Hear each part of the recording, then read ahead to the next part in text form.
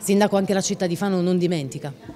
Non dimentica, direi di più, la città di Fano ha fatto una scelta precisa all'unanimità nel 2015 nel voler eh, inserire all'ingresso della residenza municipale una lapide che richiamava una bellissima storia di solidarietà, di umanità, di socialità eh, nei confronti di coloro che hanno subito le vicende orrende della, dello sterminio.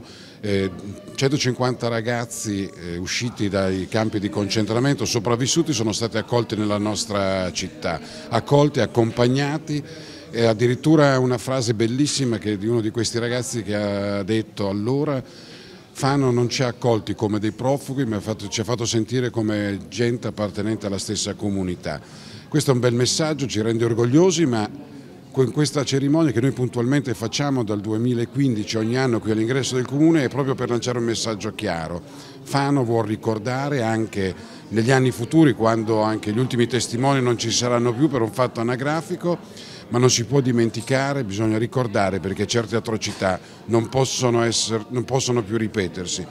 Oltre alla condanna bisogna che diamo anche messaggi forti, che purtroppo la storia ci insegna che l'uomo ripete spesso gli stessi errori e se ci guardiamo anche nel passato recente purtroppo vicende dolorose, brutali ancora esistono. Allora questi momenti non sono semplici ritualità ma sono un messaggio forte, sono una testimonianza forte.